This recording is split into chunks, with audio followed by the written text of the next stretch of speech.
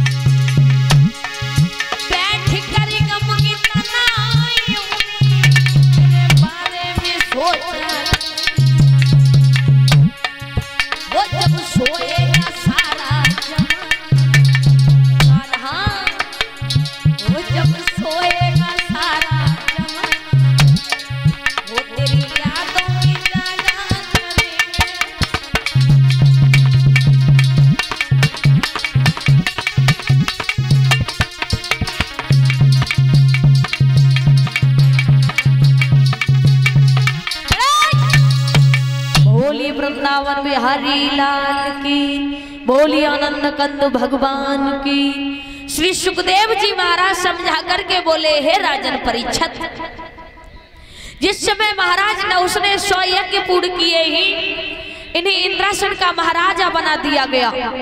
और जब ये चंद्रवंशी